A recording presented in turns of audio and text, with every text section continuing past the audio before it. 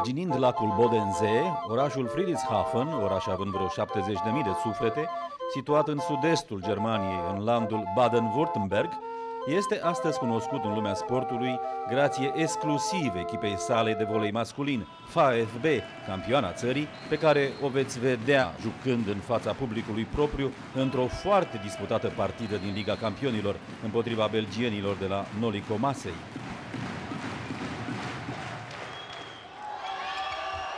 Până aici, toate bune. Puțin știu însă că antrenorul acestei formații și totodată al selecționatei masculine a Germaniei este românul Stelian Moculescu, unul dintre numele cele mai importante astăzi în voleiul mondial.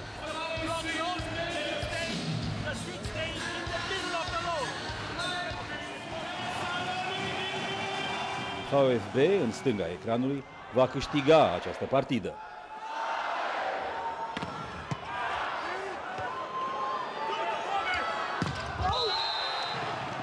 Stelu, cum îi spun aici toți, este el însuși un câștigător. Dar pentru a-l cunoaște mai bine, pentru a vi-l putea prezenta în emisiunea de azi, va trebui să ne întoarcem acum în Mesehale din Friedrichshafen. Biroul echipei de volei, VfB tot, tot Friedrichshafen. managementul, secretara, antrenorul secund, antrenorul de juniori. Și aici sunt uh, Trofee. trofeele, e trofeul de campion, Asta e campional Asta e Germaniei. campionatul Germaniei, da? Și asta este cupa. Și Cupele? aia, cupa, asta este care este transmisibilă și asta am câștigat-o, că am câștigat de 5 ori la rând cupa. Omoleu, Da, dar e, e grea. rău. E grea pe De, e de bronz? Drag. Păi cum face capitanul să ridice? Păi, azi mai, mai, mai puternici băieții. Mulțumesc. Băieții sunt în formă. Și aici văd niște... Aici sunt niște cupe, aici e pentru locul 2 în Cupa Campionilor, Oh, uh, câteva turnee în Italia, adică sunt uh, o zdroaie de, de locuri, da? Și aici avem tricouri pentru, pentru suporteri, poate să le cumpere.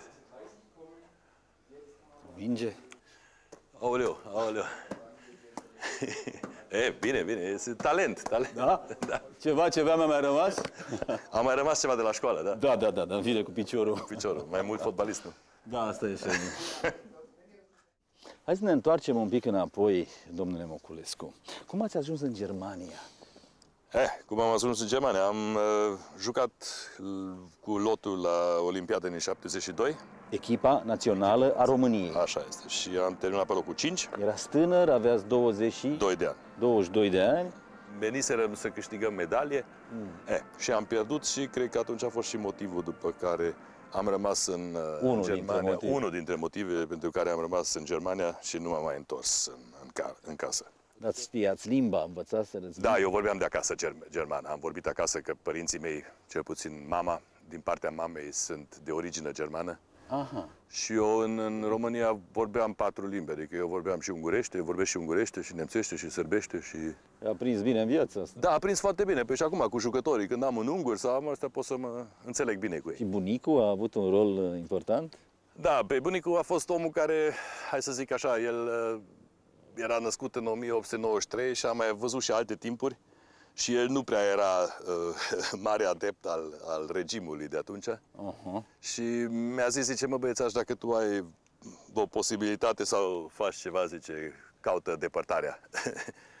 și asta a fost pe undeva... dat un sfat, M-a dat un uh, sfat și Care a rămas? trebuie să-i mulțumesc și astăzi că a fost un sfat care V-a deschis ochii. mi-a deschis foarte mult ochii. Da. Pe mine m-a, m-a nebunit uh, treaba cu sistemul politic. Da, pentru că nu avea nicio perspectivă. Asta mi-am dat seama, dacă avea măcar perspectiva să termine acolo școală, să te lase să joci în, în străinătate, să pleci, să, să poți să vii înapoi, cred că nu plecam. Dar uh, din, prin faptul că nu aveai posibilitatea asta, eu n-am vrut să-mi distrug viața. Noi am, eu am fost prima dată condamnat în 10 ani în, uh, cum se zice, în absență. absență, sigur, da. După aia au redus-o la 5 ani și în 79 ne-am dus la Constanța cu echipa Germaniei la turneul Tomis. Uh-huh. Și m, cred că Țopescu era și comentator la televiziune. Și apoi m-au reținut la, la aeroport două ore. De, Da, două cred, ore a, cred. fost, a fost teatru, într-adevăr. Și după aia când era meci se transmitea și la nemți, la fiecare zicea ăla e Chrysler, ăla e Raul. Normal. Și numărul 7 servește Republica Federală a Germaniei. m-au întrebat, m-au întrebat uh, șmecherii, zice, bă, nu te mai cheamă Moculescu? Îl cheamă Ți-ai numărul schimbat șapte? Numărul 7, da. Și n-a pronunțat nicio singură dată numele dumneavoastră. Niciodată, da, nu. Pe și din, și din fotografie, când aveam echipa de, de, de echipa României, au tăiat-o și îmi rămăsesem numai vârfurile de la picioare se vedeau în fotografie. În fotografie. Ce a urmat? Ce a urmat? Au urmat niște ani așa mai, mai greu. Am început aici să lucrez, am lucrat ca ajutor de, la, ca ajutor de zidar. Orice găseați de Orice lucru. am găsit, da, bineînțeles. Pentru că cu volei nu câștigai bani. Pe vremea aia câștigam 150 de mărci pe lună, adică erau nici, mai, nici măcar bani de bere. VfB Friedrichshafen se antrenează și joacă în impunătoarea Mesehale, o sală de 4.000 de locuri, deseori prea mică pentru a-i primi pe toți susținătorii echipei locale. Stelu Moculescu se află la Friedrichshafen de 10 ani. În acest timp, VfB a câștigat 7 titluri de campioană și 9 cupe ale Germaniei, obținând de 6 ori eventul Cupă Campionat. Pentru câteva minute l-am rugat să ne țină companie. Cum ați ajuns la volei? Din întâmplare. M-a luat un...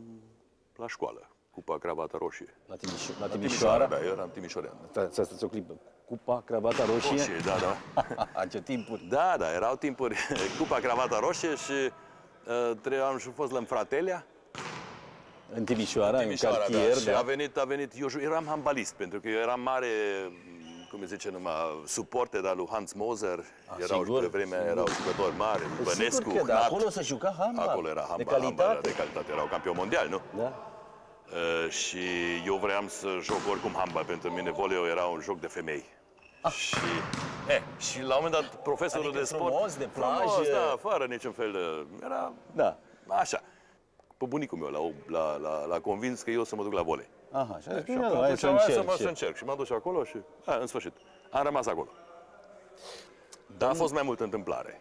Domnul Moculescu, domne, uh, volei e un sport frumos, Eu cred că este unul din cele mai frumoase sporturi, pentru că este și un sport care este pentru oameni inteligenți. nu e un pic uh, uh, mereu la fel, nu este... Nu există o situație la fel cu cealaltă. Nu. Nu există. Adică fiecare minge e altfel, e deviată. Este o, un sport unde trebuie să, să gândești foarte repede și nu numai să gândești repede, dar trebuie să și transformi gândirea în practică. Pentru că tu nu ai posibilitatea să prinzi mingea, nu, ai nu posibilitatea să dai mingea la portar, Da. n-ai, tu trebuie tot timpul să continui jocul. În, în mai puțin de, cum zice, lucruri Da, de secunde, fracțiuni, fracțiuni, da. fracțiuni de secunde, trebuie să decizi ceva. Da. Și mm, eu zic așa, unul care nu prea e prea deștept, Nu, nu poate să joace volei? da, pentru că are mai multe fracțiuni de secundă. Până când Până când gândește, Și da. mingea nu Și așteaptă. atunci s-a terminat. Bun, trebuie să vă întreb ceva. Așa, sigur, foarte mulți uh, oameni, foarte mulți uh, uh, tineri au uh, făcut totul pentru a, căta, a căuta o nouă identitate, pentru a căuta uh, un drum mai luminos în viață. Ceea ce ați făcut și dumneavoastră, ok. Dar cum ați reușit, de fapt, să vă impuneți? Cum i-ați convins pe nemți că aveți valoare? Cum ați reușit să să ajungeți așa de sus în, în sport, cum ați sunteți în momentul de față? E bine, în, prima, în primul rând am avut o pregătire bună din, din țară, da? Pregătire tehnică. Am avut, am avut noroc că am avut doi antrenori foarte buni. Unul ca junior pe domnul Coin și la senior pe Dragan la Rapid. Aha. Da. A fost antrenor? A fost antrenor la Rapid. Ah, da. foarte Și bun. Aurică a fost un Aurică antrenor Dragan. într-adevăr foarte bun. Cel puțin eu am învățat foarte mult de la el. Da, da, Eh, da. Și venind în Germania, am început să joc și am jucat bine. Da? Și pe faptul când joci bine, când știi ceva, eu am zis, asta era pentru mine așa un obiectiv și îi spun și copiilor, tu trebuie să știi în viață un lucru, dar ăla trebuie să-l știi bine. Și dacă, orice, nu, nu contează ce, dar trebuie să-l știi foarte bine. Atunci ai tot timpul o șansă.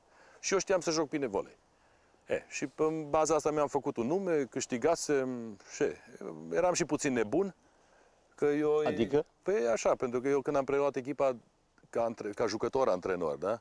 Un an de zile n-am avut succes Și am văzut că ăștia bătrânii n-au chef să joace și că noi ne antrenam numai de trei ori pe săptămână. Mm-hmm. După meci la o bericică, la una, la alta. Și am zis, ok, i-am dat pe toți afară și am luat numai juniorii și cu doi, eu și cu încă unul mai Ați bătrân. avut curaj asta. Dar bineînțeles, pe fără curaj nu merge nimic. Au scris în ziare că sunt nebun, că nu știu ce. Că... Au scris? Da, bineînțeles. V-au atacat? Da, bineînțeles. Erați un român, un român care vine aici să ne învețe, pe noi, pe nemți? Da, asta n-a fost, dar eu, am, eu totdeauna am vrut să câștig.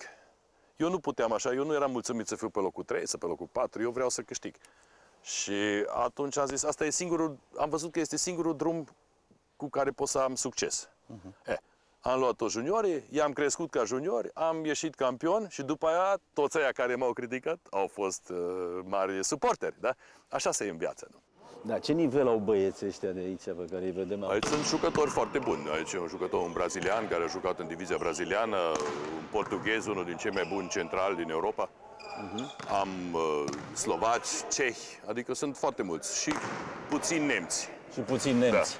da, pentru că eu am o răspundere. În în Germania nu se poate câștiga prea mulți bani cu sportul, cu voleiul. Și eu nu pot să iau un jucător, să, că aici trebuie să lucreze de două ori pe zi, se antrenează de două ori pe zi, sub condiții profesionale. El nu mai, are, nu, nu mai poate să facă nicio școală sau cenicie. sau așa profesionist. ceva. E profesionist, dar nu primește. E profesionist după lucru, cât lucrează, dar nu cât câștigă. E, și atunci, dacă iau eu un jucător german, trebuie să aibă șansa ca să plece în străinătate, să câștige un ban Afară. afară, în străinătate, în Italia, în Franța, acolo. Și eu trebuie să-i pregătesc numai pe ăștia unde sunt convins că au calitatea de a ieși jucători. Bun, cam cât câștigă jucătorii la dumneavoastră? Tot? Este foarte, este foarte... Uh, ha, cel mai ieftin jucător, dacă câștigă 800 de euro pe lună, e mult. Cel mai ieftin. Ăștia sunt mai tinerii. Și după aia mai câștigă mai mult. Ajung, ajung până la vreo 45-50 de mii. Uh, dar ăștia sunt Pe deja an. jucători foarte buni. Pe an. Pe, Pe an. an. Da, da, da. Acum hai să vă întreb eu ceva și sper să-mi răspundeți. Dumneavoastră câștigați bine. Eu câștig bine, sunt mulțumit. Eu pot să mănânc de trei ori pe zi. sunt mulțumit. Da. Asta e bună. Da. Primii cinci ani au fost într-adevăr nu, nu prea grozavi, adică nu pot să mă laud de ei, pentru că am făcut multe greșeli. Am, uh, pe o parte, am făcut greșelile ce făcuseră alții și în România cu noi, că nu discutam cu oamenii. Adică? Da, păi noi ce era? Noi trebuia să funcționăm în România. Venea sotier sau venea, "Ole, bă, Boculescule, bă, te, te... și faci și dregi. Nu te întreba cum o duci, ce faci, cum te simți bine, nu te simți bine. Adică sunt alte, alte, alte metode de a, de a te comporta cu oamenii. Mm. E, și eu, prima generație le-a fost frică de mine. Ăștia tremurau când mă vedeau, erau, ei funcționau așa că eu eram, aveam deja nume. Dar n-am avut, n-am avut succes. Și după aceea am început să mă gândesc, zic, E ceva care nu E merge. ceva care nu merge, pe undeva e o greșeală. E, și atunci mi-am dat seama că greșeala am făcut-o eu. V-ați apropiat mai mult de Da, jucători? și am, am început să mă schimb, să mă, să mă, să mă, să mă deschid, adică să nu Mhm. mai... E, și atunci, de atunci zic, din 90 am început să câștig și am câștigat tot timpul aproape. Hai să stăm. Da. Cu plăcere. E un loc, este extraordinar. Așa că, pentru mine a fost o, cea mai mare, cum se zice numai, cea mai mare uh, uh, decorație pe care puteam să o primesc ca antrenor a fost acum 2 ani, că am, n-am, n-am reușit să ne calificăm pentru europene și tovarășii de la federație uh, au vrut să mă dea afară. Și Tovarășii nemți. da. Tova- Păi da, dar tot- toți așa sunt cum erau tovarășii pe vremuri. Și uh, la un moment dat uh, a venit echipa și a făcut o scrisoare și a zis, domnule, dacă dați pe ăsta afară, mergem și noi. Oh, Și Echipa cred că sunt- națională a echipa Germaniei? națională a Germaniei, da. oh. Și cred că sunt puțini antrenori pe lumea asta unde echipa să pune în fața Echipa națională, atenție, nu e o echipă de club oarecare. și se pune în fața antrenorului și zice, nu, ăsta face treaba Rămâne cu bună, el. lasă-l acolo. Și ați rămas în Și am continuare. rămas în continuare. E, și după aia ne-am calificat acum pentru europene, ne-am calificat pentru mondiale. Campionatele mondiale. Da. În uh, Germania s-a făcut, s-a dus zvonul că dacă o echipă de volei vrea să ia campionatul, atunci îl aduce pe Stelian Moculescu uh, la conducere. Cum nu? E un zvon, dar e puțină dreptate e și pe acolo, puț- puțin adevăr e și acolo, că eu am, cu toate echipele care le-am condus, până acum am câștigat un campionat, cel puțin. Da. Un titlu, Da, important, mai important pentru mine e că ei, înainte de a veni eu acolo, nu câștigaseră nimic. N-ați luat echipe Eu de n-am luat de niciodată o top, echipă, nu, nu, nu. care Nici- câștigase ceva. Nu, nu, nu, niciodată. Eu totdeauna am luat echipa care nu câștigase nimic și am condus-o la titlu. Bun, asta e o idee. Da. Câte titluri de campion aveți ale Germaniei? Ale Germaniei, oh, sunt multe. Sunt multe, sunt uh, 13 sau 14 titluri. Nu-și prea știți exact, nu? Le-ați mai pierdut numărul. Le-am mai pierdut, le-am mai pierdut, uh, dar se poate. Și cupe, tot fac Și cupe mai mult. mai multe, Mai vreo mult, 15. Da, 17 cupe. Eu am început la, la, la firma aceea de construcții, de, ca zidar, ajutor de zidar, cu 725 de mărci pe, pe lună. 725 de mărci pe Da, lună? da, da. Și trebuia să plătesc 350 pentru o garsonieră, adică o cameră cu bucătărie. E, și pe din rest nu puteai să faci mari, uh, mari. Mergeam cu, cu, cu bicicleta la, la lucru. era, era, în tot cazul, a fost un timp frumos. Erați foarte- erați foarte tânăr. retrospectiv, eram tânăr. Mie mi-a fost indiferent. Eu am zis, eu vreau să lucrez. Mie, mie, mi-era indiferent ce fac. Ce... Eu am început să fac o treabă și după aia am umblat tot timpul cu ochii deschiși să văd unde găsesc o, sit- o șansă să intru, să fac și... Am avut noroc în viață, foarte mult noroc că cred că la, la, fi- la fiecare timp potrivit am întâlnit un om care să mă ajute mai departe. Eu zic, am avut foarte mult noroc și mulțumesc lui Dumnezeu că m-a ajutat. Așa, și am găsit după aia și nevasta aici, de când sunt de 30 de ani căsătorit. Vă rog să mă prezentați pe doamna dumneavoastră. Da, este Gabi Moculescu, e nevasta mea. Suntem căsătoriți de 30 de ani. Oh. E ceva. E timp lung, da. Aveți copii, domnule Măculescu? Da, avem trei copii, două fete, un băiat și avem și doi nepoți, o fetiță și un băiat de, de 9 ani. Ah, nepoții. Da, da. Dar băi, uh, copiii sau uh, și-au luat zborul? sau- Da, da, bineînțeles, aici, ce puțin așa a fost totdeauna. Eu am plecat cu 19 ani de acasă, la 19 ani și zic, e bine când copiii pleacă din casă să se, să se acomodeze cu, cu viața, să ducă fiecare viața lui. Aha. Și ei trăiesc în München, fiecare are locuința lui, două, două fete sunt căsătorite, băiatul încă e liber. Bun. Haideți să o întrebăm pe doamna Gabi. Cum își explică succesul și ascensiunea dumneavoastră? Ja, weil du sehr ehrgeizig bist und wenn du was willst, dann kriegst du es auch immer.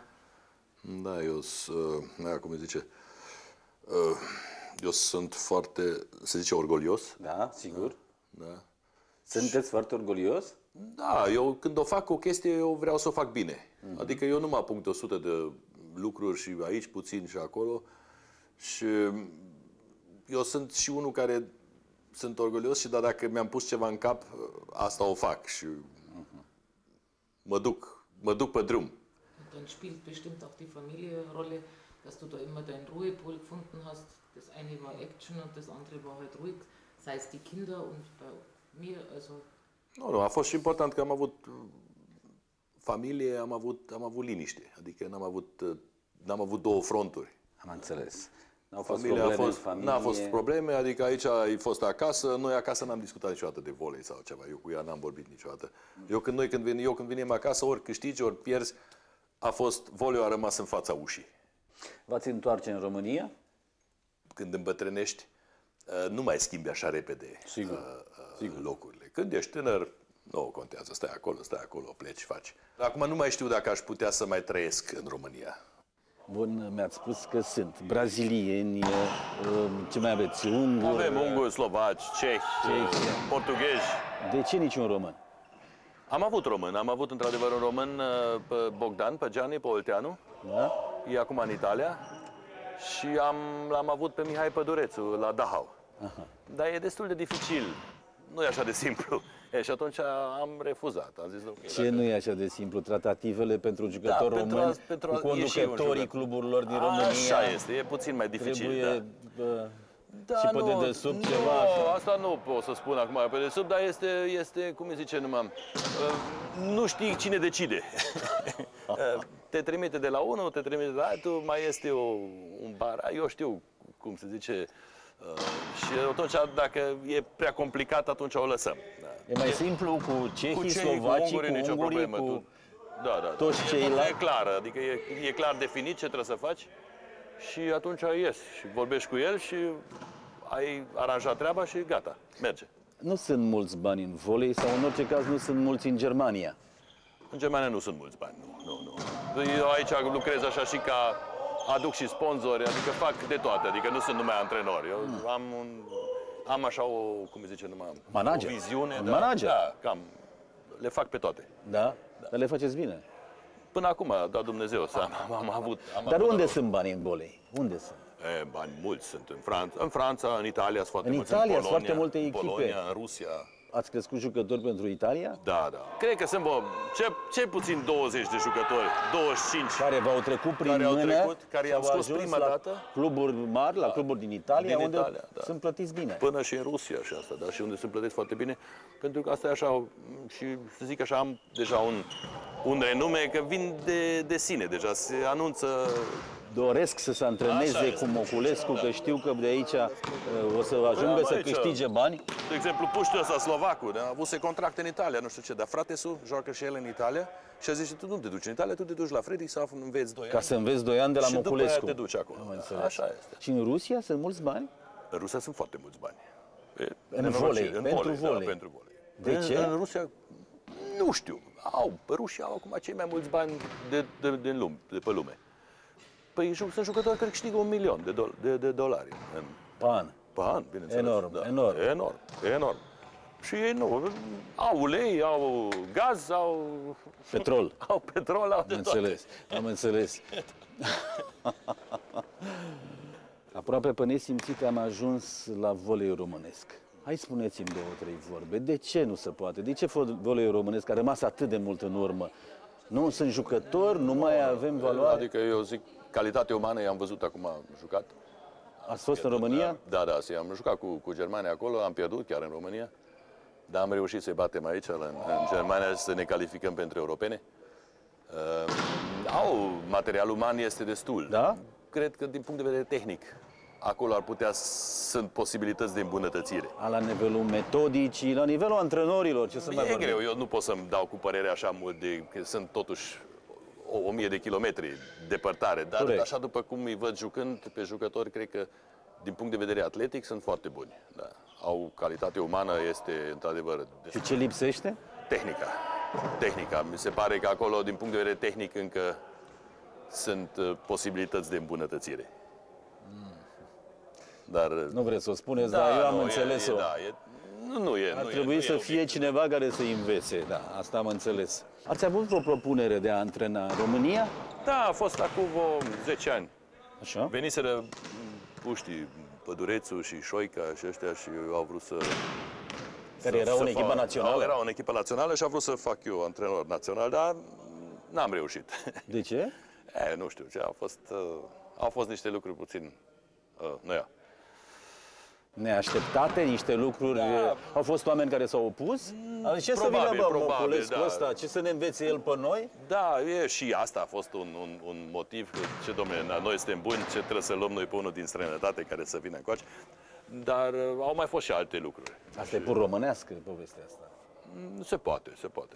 Dar ați fi vrut? V-ar fi făcut Da, cu mare plăcere? plăcere, da. Simțeați că ați avut o datorie față de Așa sportul este, mai simt românesc, și față de acum, volei da. românesc? Mai simt și acum pentru că eu am învățat meseria în România, adică acolo am, de acolo am plecat și am vrut să dau ceva înapoi. Cred că atunci a fost și o echipă foarte bună, adică Da? puteam, puteam Capabilă de progres? capabilă de progres și de rezultat. Puteam face rezultate bune, dar în sfârșit n-a fost să fie. Dar sunteți încă un om tânăr, poate că timpul nu e o... Da, eu nu, nu am nicio... mi-ar face plăcere, știu eu. Atunci când o să fiți liber de contract, ceea ce e cam greu, că Da, da. Păi mai am puțin aici și după aia să văd. mai aveți de luat niște titluri pe aici. Aș vrea, aș vrea neapărat. Am așa o viziune, aș vrea să fac aici în vreo 2-3 ani finala Cupei Campionilor.